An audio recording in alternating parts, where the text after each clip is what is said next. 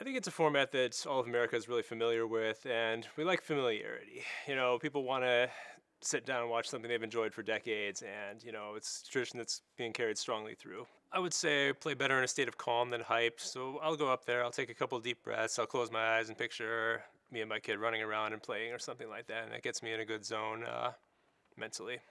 Want more entertainment news? Follow On the Red Carpet on Instagram, Facebook, TikTok, Twitter, and YouTube.